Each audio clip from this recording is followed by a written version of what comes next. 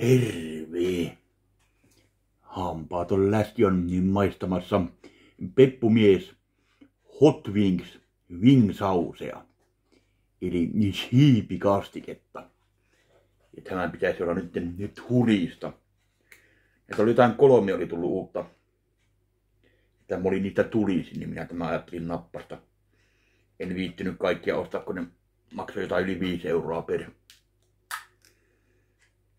per tuota, purnukka.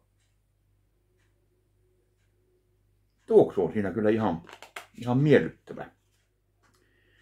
Vatkaillaanpas ensin. Noin. Ja sitten otetaan lusikan rumaan käteen ja plöräytellään.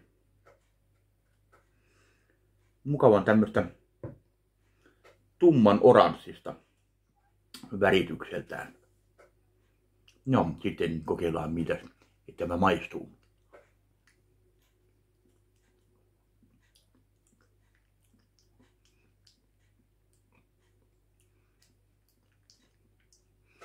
On tässä jonkun verran potkua. Maku on tämmönen vähän paprik, paprikaanmainen maku. Kyllä tämä varmasti hänen kanssa toimisi oikein hyvin.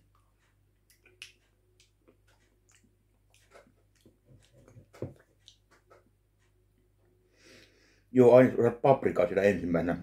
Joo, sehän tuossa maistuu. Ja on täällä silleäkin muun muassa hapaneroa. Joo, tämä on hyvin tämmönen paprikamainen maku. Tässä on tulisuuttakin kyllä sen verran, että niin tätä ei ihan ehkä aloittelevalle vauvasuille pysty, pysty suositella. Ja joo. No maku on oikein miellyttävä ja pieni tuo hapaneronkin maku sieltä tulee. Tulee, että niin. Ja tosi hyvän makuinen. Mutta arvosana tälle voisi antaa 4 kautta 5. Oikein miellyttävä oli.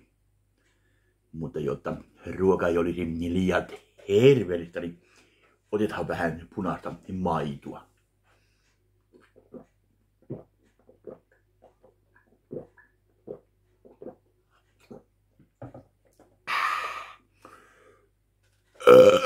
Oi, oi, oi, oi.